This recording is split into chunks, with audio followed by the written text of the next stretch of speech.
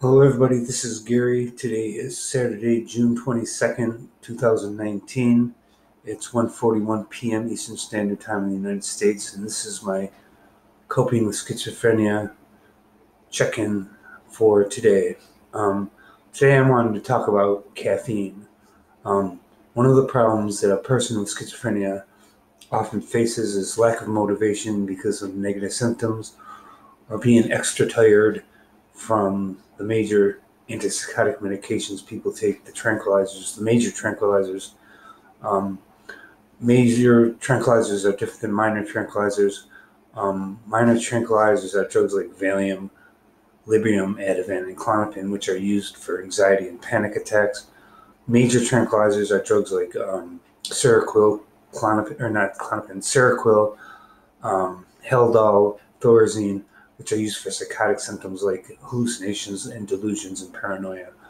Um, but, anyways, I have a tendency to use caffeine tablets to give myself more motivation and energy. And if you're t- physically tired or even mentally fatigued, caffeine can temporarily increase your energy, both mentally and physically, but it could also cause an increase in paranoia, um, hallucinations, and just plain panic attacks.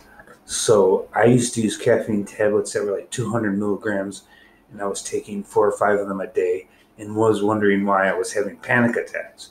Um, well, it was the caffeine. Um, if you're on medications, major tranquilizers, or even minor tranquilizers, and you get tired, caffeine in moderation is not a bad thing, but don't do what I did. Um, it's not easy to kill yourself with caffeine by overdosing accidentally it takes quite a bit of caffeine to kill a person. Um, but uh, you could still have real bad problems if you overdose on caffeine. Like I said, you could have paranoia, hallucinations, panic attacks, and th- this all applies even if you're not mentally ill. Caffeine in large amounts can cause really, really uncomfortable feelings of feeling nervous and shaky. Your body starts to shake, your hands tremor, um, you start to break out in sweat, your heart is pounding, it's like the worst kind of panic attacks you could possibly have.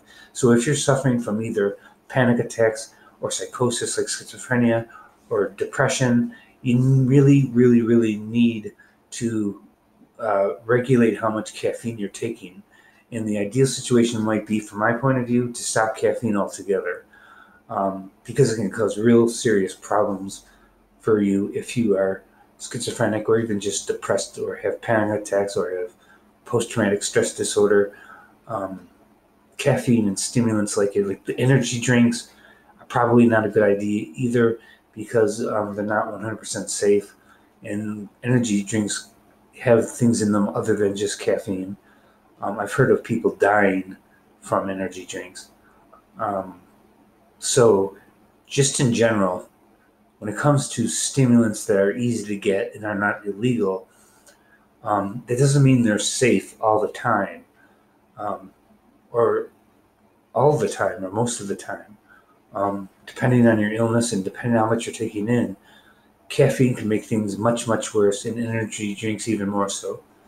Um, so if you use stimulants like energy drinks and caffeine, coffee, caffeine tablets, um, use it in moderation, and also be aware that caffeine is in some preparations you may not have known it was in for example, headache medications like Excedrin, which is used for migraine and tension headaches, has aspirin in it, Tylenol, as well as 65 milligrams of caffeine. So if you take something for a headache and you didn't know it had caffeine in it, you might end up having a panic attack and not know why.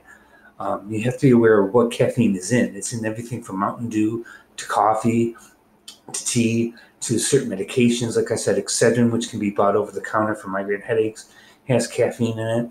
It's supposed to somehow facilitate the relief of the headache, especially if it's a migraine headache. Um, so just be aware of what you're taking. Um, chocolate even has caffeine in it. Not a lot, but some people are sensitive to caffeine, and chocolate might trigger a panic attack. Not to mention the sugar. Um, so, you know, be aware of what you're doing when it comes to stimulants, um, and don't cause yourself unnecessary pain. If you have any comments, leave them in the comment section.